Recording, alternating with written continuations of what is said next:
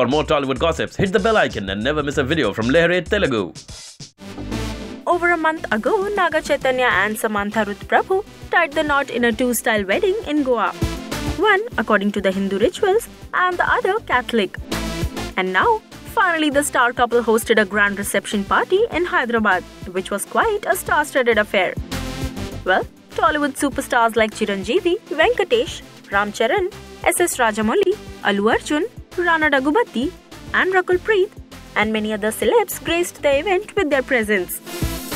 The new bride, Samantha, looked gorgeous in a lavender and grey embellished gown, while Naga Chaitanya looked debonair in a blue suit. Have a look at the pictures of the beautiful night.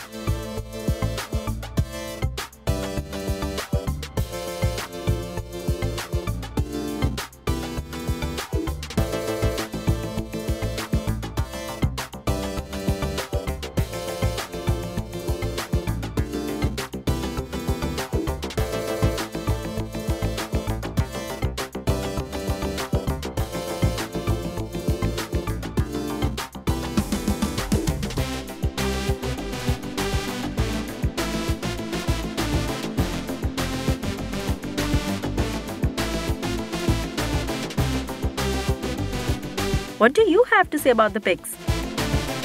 Mention below.